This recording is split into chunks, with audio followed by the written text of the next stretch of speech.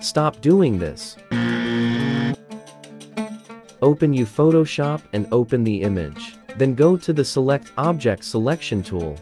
Click on the lasso of the top and selection the cup. Then click on the Layer panel.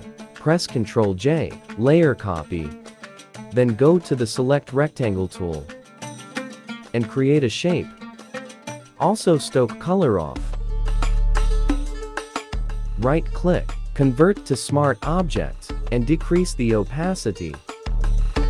Press Ctrl T. Right-click, select Warp. Go to the Select Custom of the top, and click on the cylinder, and adjust the shape.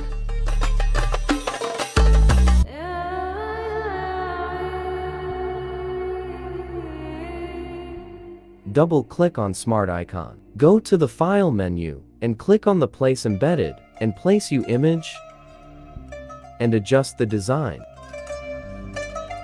Go to the File menu, and click on the Save. Right-click, select Close. Change blending mode normal to multiply. Right-click, click on the Create Clipping Mask, and click on the Adjust icon. Select Hue Saturation, and follow the process. Right-click, click on the Create Clipping Mask. Double-click on Layer. Press Alter key. Now, we place a design on the popcorn in Photoshop. That's it. If you find this video helpful, please make sure to subscribe our Graphics Solution Tricks channel and click the bell icon for more updates.